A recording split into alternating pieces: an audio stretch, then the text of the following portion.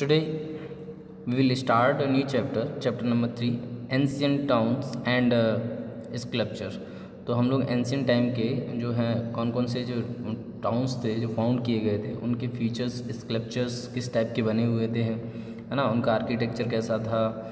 आ, ये सारी चीज़ों के बारे में इस चैप्टर में देखेंगे। और किन किन प्लेसेस पे जो है हम लोगों को टाउन्स देखने को मिले थे? ओके?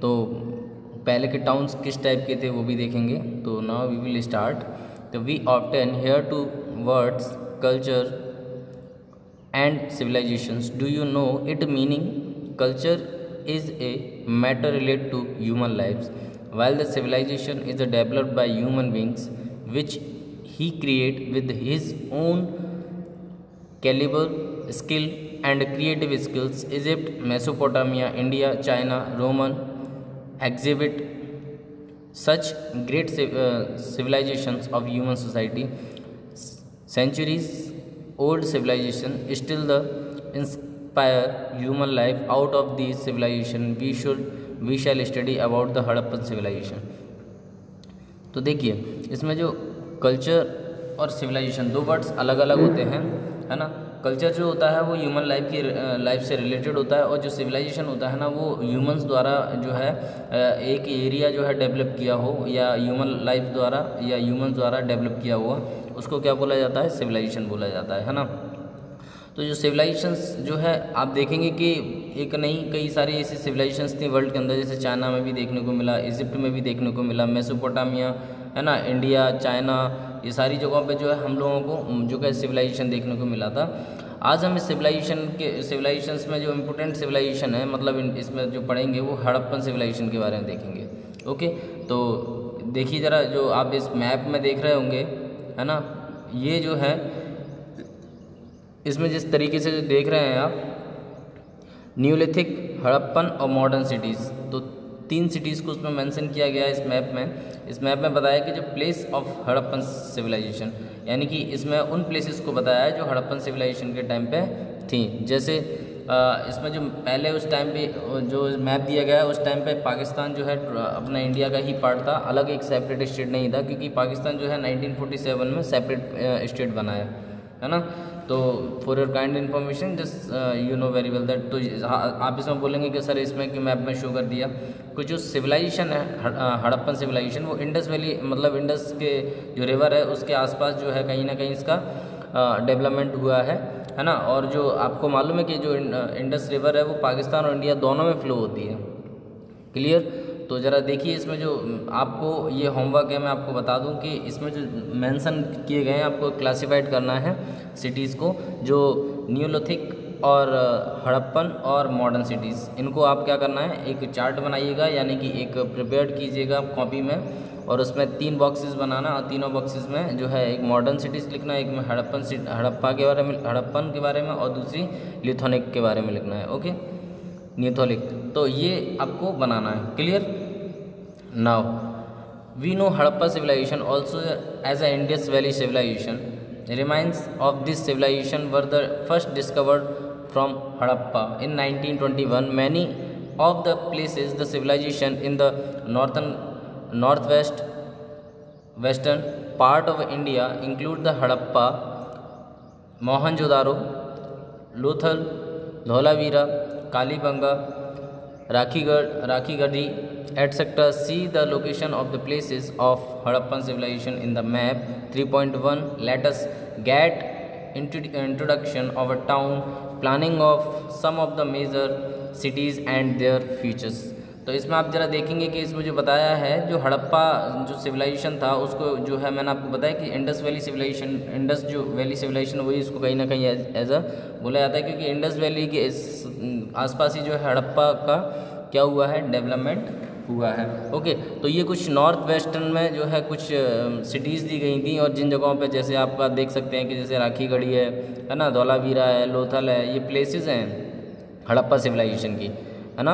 आप तो इसमें मैप में देखिए कि ये प्लेसेस कहाँ कहाँ पर हैं। ओके नाउ अब बात करते हैं जो हड़प्पा सिविलाइजेशन में किस तरीके से जो है टाउन्स की प्लानिंग की गई थी मतलब टाउन्स किस तरीके से बने हुए थे, है ना? और कैसे बनाए जाते थे towns The organized the town planning was the most important feature of the Harappan civilization. All the, the towns were the planned in the similarly ways. In all the places fort uh, uh, was on the westward side and the colony of the common peoples on the east side. High, highways separated both of them. The fort of on the west was surrounded by fortresses. Most probably sorry yes most probably uh, rulers would have lives uh, lived in the fort bricks were often used in this town uh, town structure let us study about the various features of the civilisation इसमें जो बताया है उन्होंने मतलब जो इन, इन, जो Harappan civilisation जो है हड़प्पन सिविलाइजेशन में जिस तरीके से जो बिल्डिंग यानी कि फोर्ट के बारे में बताया है कि किस तरीके से जो फोर्ट्स जो फोर्ट होते थे किले होते थे, उनके जो गेट्स होते थे गेट्स मतलब किस तरीके से जो उनका स्ट्रक्चर बना होता था वेस्ट साइड में क्या होना है है ना? वेस्ट वेस्टवर्ड साइड में क्या है? मतलब वेस्टवर्ड साइड में जो है कॉलोनी ऑफ़ कॉमन पीपल्स की होती थी एंड जो है है ना? क्लियर इस तरीके से जो है वह और ईस्ट ईस्ट ईस्ट साइड में जो है क्या होना चाहिए? इस तरीके से जो लोगों की प्लानिंग होती थी, उस तरीके से इनका क्या किया जाता था? फॉर्मेशन करते थे ये लोग, है ना? Mainly features of the Harappan civilisation was there the organise houses arrangement house were the constructed on the high platform to protect them for the flood and the dampness it means ये जो Harappa civilisation में एक हमने देखा कि town planning जो important features था। Second भी इसमें क्या है कि जो हाउसेस का अरेंजमेंट जो था, उसमें इस तरीके से अरेंजमेंट करते थे कि इस तरीके से कंस्ट्रक्ट करते थे कि उनसे जो है फ्लड और जो डैम्पनेस जो होती थी, उससे ईजिली क्या है, उनको कोई इफ़ेक्ट नहीं होता था, है ना? One of the features of the houses of the Harappan was that the main gate open in the lane rather than towards the main road here single and the dual storeyed destroyed houses were the scene road were very comfortable there were two highway in the city one of the which is the connected north with the south and the other connected east and west तो इसमें आप देखेंगे कि जो जो gate होते थे houses के वो क्या है रोड के साइड में खुलते थे एंड इसमें जो है हाईवेज भी जो थे जो कि इस तरीके से दो हाईवेज के बारे में बताया उन्होंने कि एक तो जो है आपका नॉर्थ साउथ को कनेक्ट करता है और एक ईस्ट वेस्ट को कनेक्ट करता है। तो इस तरीके से जो है आ, और सिंगल स्ट्रेट जो होते थे मतलब हाउसेज होते थे है ना? डुअल स्ट्रॉयड हाउसेज होते थे। Here the street were the parallel to the main road road road interest interested each others at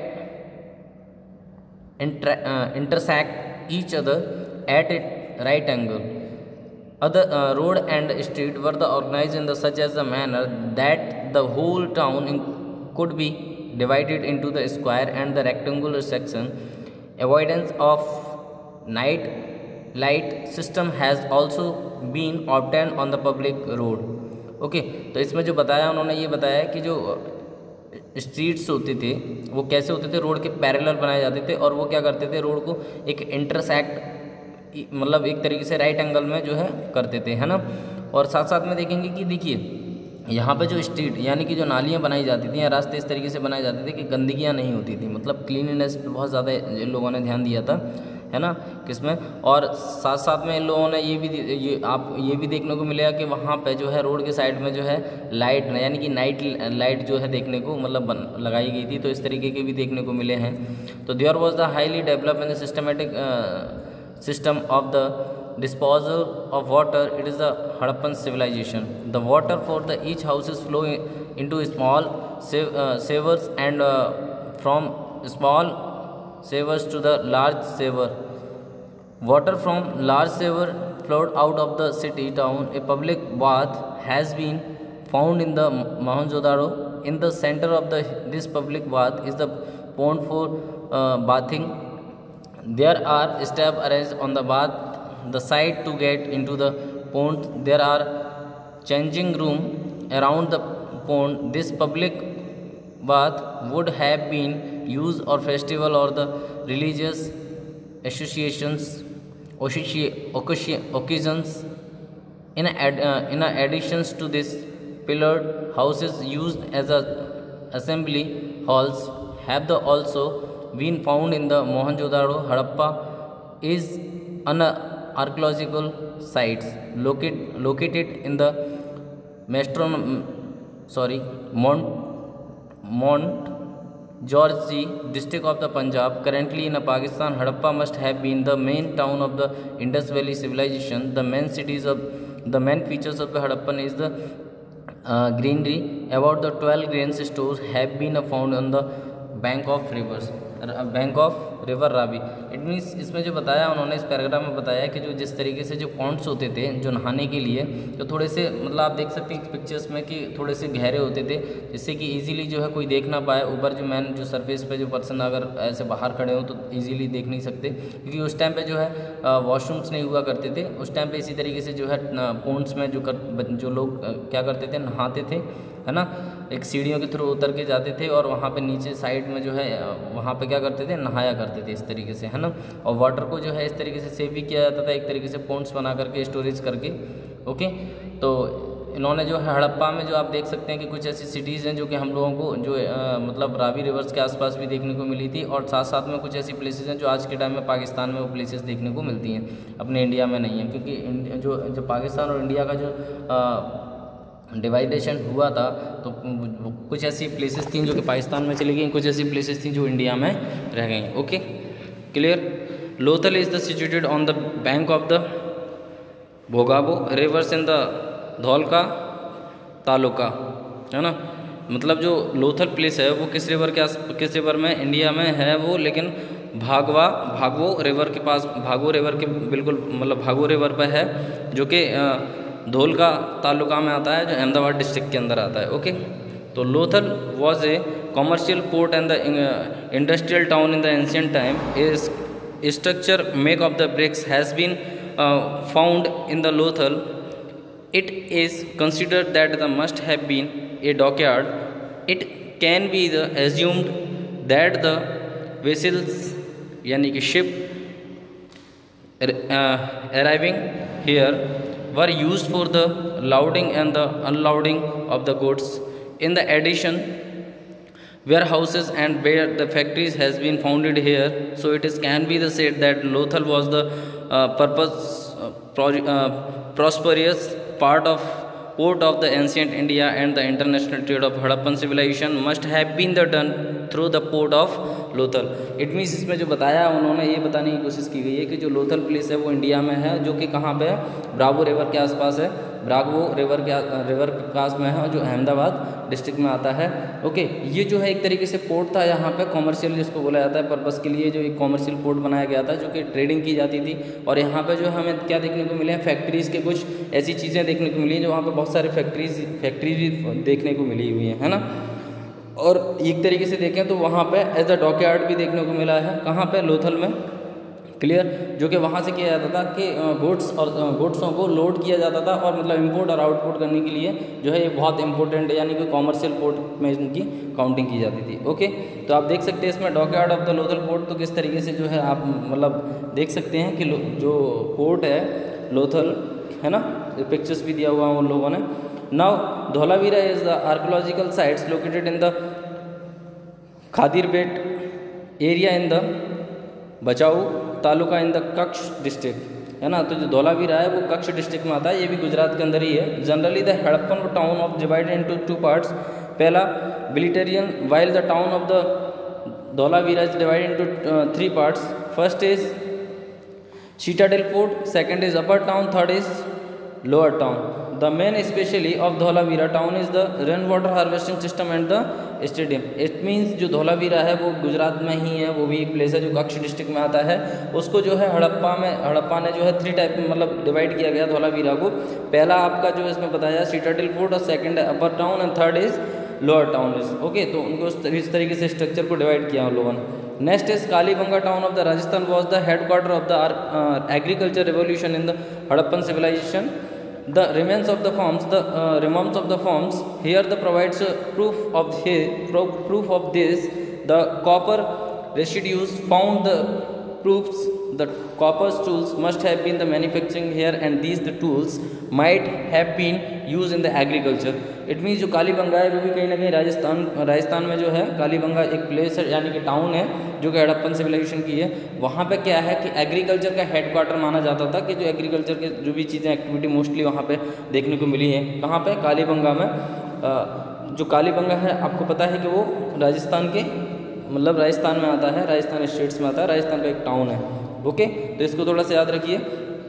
Clear Now, thus the town's planning of the Indus civilization was well organized, well or inorgan, uh, engaged, sorry, engineered, well planned, and the uh, efficient.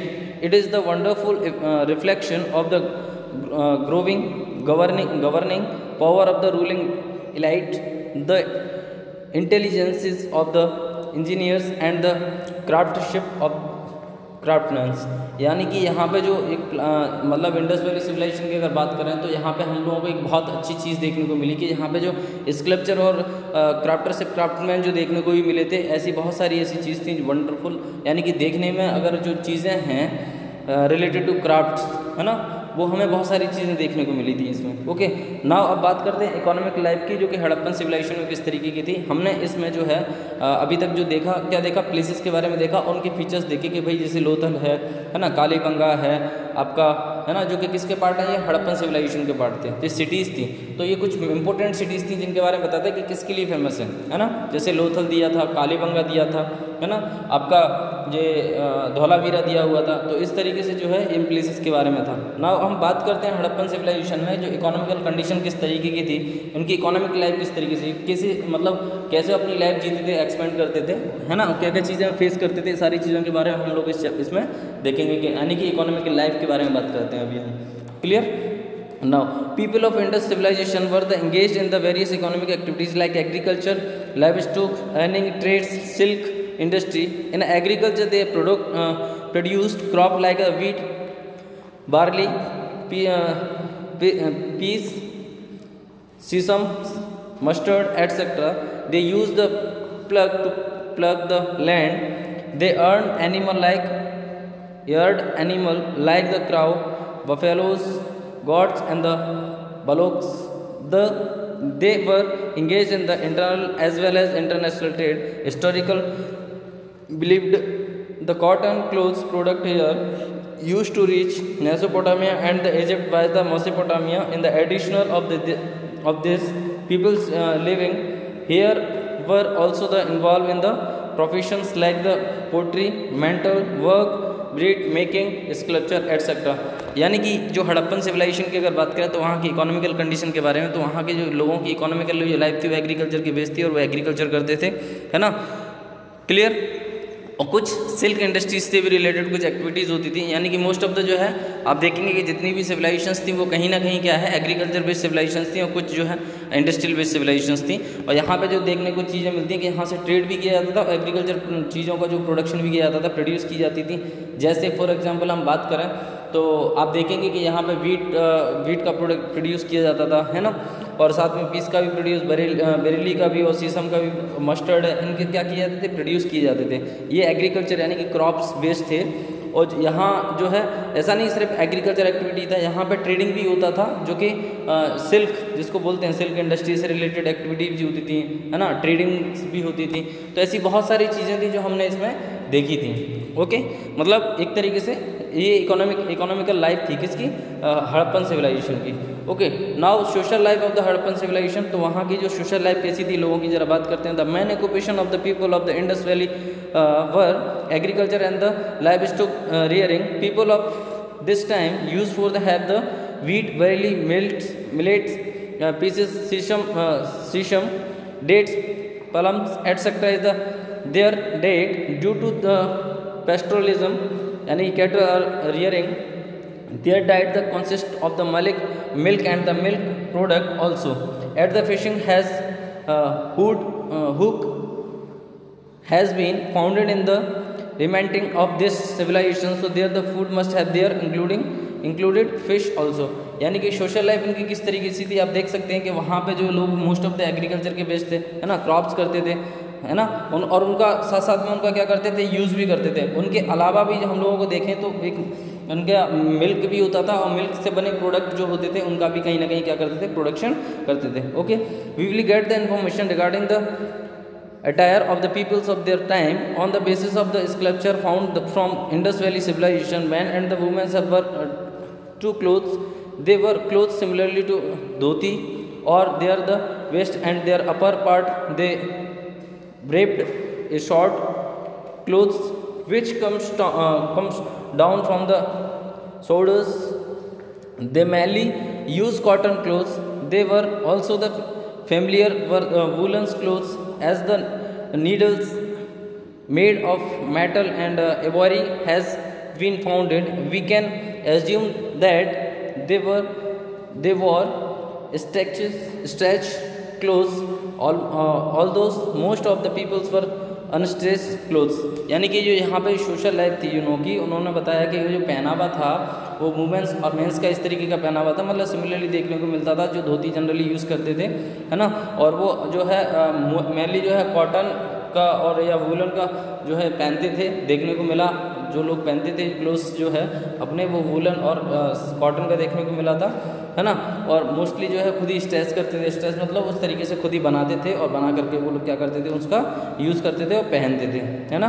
Peoples of this time were the ornament like necklace ring in the fire and bracelet bracelet were were worn by women as well as men. Women want jewelry like the bangles ear, uh, earring waist belt anklet anklet etc these ornament were made of the gold silver and the precious stones. तो इसमें जो women's द्वारा कुछ ornament भी बनाए जाते थे जो कि जैसे आप देख सकते हैं पहनने के लिए भी है ना कुछ किलिंग करने के लिए फायर्स के लिए भी बहुत सारी ऐसी चीज़ें थी जो कि इनके द्वारा जो बनाई जाती थी ऑर्नामेंट बनाई जाती थी। और साथ में जो है ऐसा नहीं कि सिर्फ़ वुमेंस द्वारा बनाई जाए उनकी हेल्प करने के लिए मेंस द्वारा भी बनाई जाती थी है ना?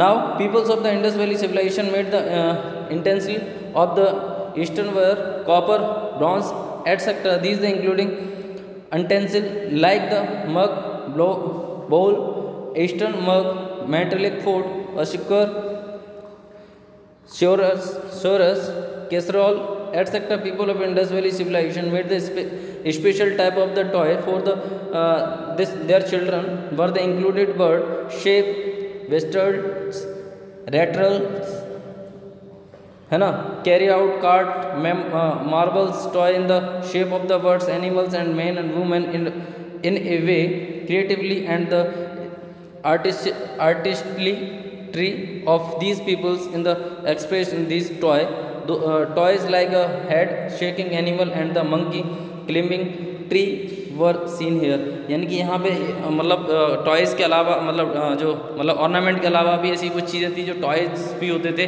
जो कि बच्चों के लिए, खेलने के लिए, है ना? और बनाए जाते थे इंडस वैली सिविलाइजेशन मतलब ऐसा नहीं था जो लाइफ होती थी लोगों की, उस तरीके से आज हम चीज़ों को फॉलो कर रहे हैं, वो बहुत सारी चीज़ें ऐसी थी जो कि इंडस वैली सिविलाइजेशन हमें देखने को मिली थी, है ना? तो उसमें कुछ ऐसे ऑर्नामेंट भी थे ऑर्नामेंट के साथ साथ में कुछ टॉय भी थे जो बच्चों के लिए और साथ साथ में जो बनाए भी जाते थे, है ना? तो ये आपका किसमें आ जाता है आपका? मतलब टॉयज़ में आते हैं, यानी कि सिविलाइजेशन की सोशल इंडस वैली सिविलाइजेशन की सोशल लाइफ में आते हैं। ओके तो now religion life and funerals इसके बारे में हम लोग कल डिस्कस करेंगे। थैंक यू सो मच यानी कि will be discuss in the next class okay thank you so much